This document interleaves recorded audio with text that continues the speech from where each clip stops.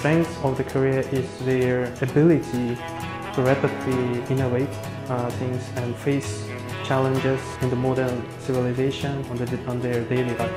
During my secondary school, I, I was lucky that I had a good chance to experience Korean language.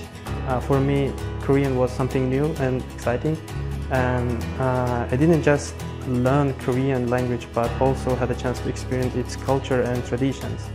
And uh, later, when I was studying at high school, I got interested in uh, IT field, and uh, then I considered Korea as, one of the strong countries where I could uh, acquire technical skills in this field.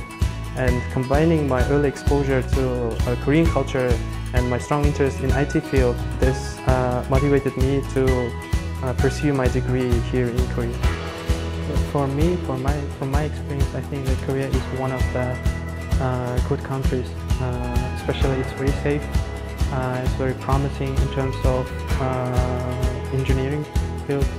for the technology part, the strength of the Korea is their ability to rapidly innovate things and face challenges in the modern civilization uh, on, the, on their daily life.